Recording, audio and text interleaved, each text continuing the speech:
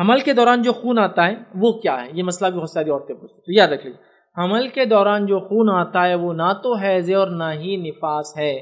نفاس وہ خون ہے جو پیدائش کے بعد آتا ہے، حیض وہ خون ہے جو عام مہینے واری آتا ہے۔ ابھی جو خون آتا ہے، جب بچہ پیٹ میں پنپنے لگتا ہے پریگننسی کے دوران، یہ علماء لکھتے ہیں، نہ تو حیض ہے، نہ تو نفاس ہے، یہ فاسد خون ہے۔ فاسد مطلب ان کیٹیگرائزڈ ہے بھی۔ اس خون کے جانے سے نہ روزہ چھوڑنے کی ضرورت ہے، نہ نماز چھوڑنے کی ضرورت ہے۔ نماز بھی رکھ پڑیں گی، روزہ بھی رکھیں گی، یہ خون سے کوئی پرابلم نہیں ہوتا۔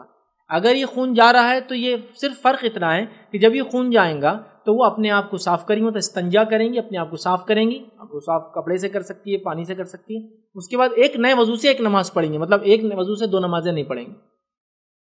اور اگر یہ کنٹینیوس جا رہا ہے کنٹینیوس تو علماء نے لکھا یہ اس بیماری کے جیسا ہے جیسے پیشاب کی اور ہوا خارج ہونے کی بیماری ہوتی ہے۔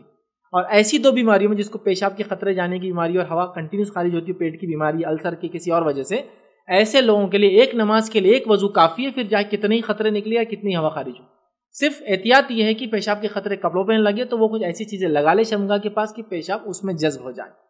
تو یہ مسئلہ اس عورت کے لیے بھی لاگو ہوگا کہ اگر خون جا ہی رہا ہے، جو کہ حیض کا بھی نہیں ہے اور نفاس کا بھی نہیں ہے، اولاد کی پیدائش سے پہلے تو ایسی شکل میں وہ کچھ لگا لے۔ آج کل تو بہت آسان ہے کاٹن پیڈز ہیں نیپکنس ہیں، وہ یوز کر لے اور وضو کر لے اور نماز پڑھ لے لیکن اگلی نماز کے لیے پھر سے اس کو صاف کرنا پڑے گا، دھونا پڑے گا، پھر ایک وضو کرنا پڑے گا، پھر نماز پڑھنا۔ اتنا بس فرق رہے گا، سمجھ گیا؟